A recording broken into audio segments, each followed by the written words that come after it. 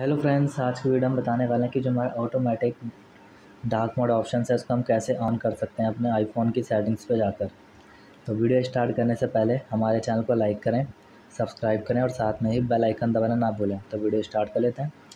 तो आप देख सकते हैं जो हमारे फ़ोन के आइकन्स हैं, कुछ इस प्रकार हमारे फ़ोन में शो हो रहे हैं। तो इसमें से हमें सेटिंग्स आइकन पर क्लिक कर देना है। तो हमारा जो सेटिंग्स आइकन है, उस पर क्लिक कर देंगे।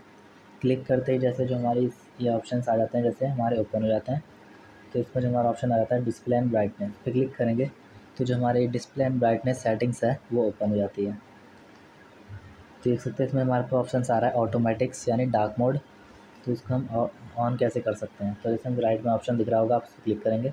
इस पर क्लिक करते ही जो हमारा ऑटोमेटिक डार्क मोड ऑप्शन है, वो ऑन हो जाता है। तो इससे हमारे फ़ोन में ऑटोमेटिकली ही डार्क मोड है जो ऑन हो जाएगा और ऑफ़ भी हो जाएगा। तो इस पर फ़ोन की सेटिंग्स पर जाकर ऑटोमेटिक डार्क मोड को हम ऑन कर सकते हैं अपने आईफोन डिवाइस में। तो आपका वीडियो अच्छा लगे तो लाइक करें सब्सक्राइब करें और साथ में ही बेल आइकन दबाना ना भूलें। और थैंक यू